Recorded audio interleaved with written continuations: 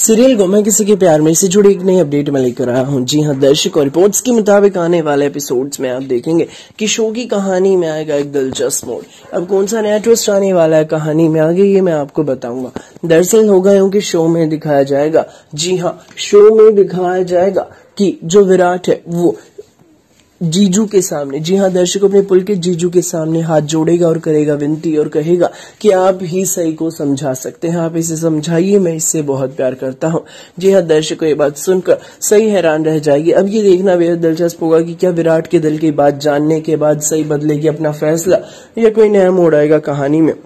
फ़िलहाल के लिए बस इतना ही। For more updates please subscribe serial fever and do not forget to click on the bell icon. Thank you.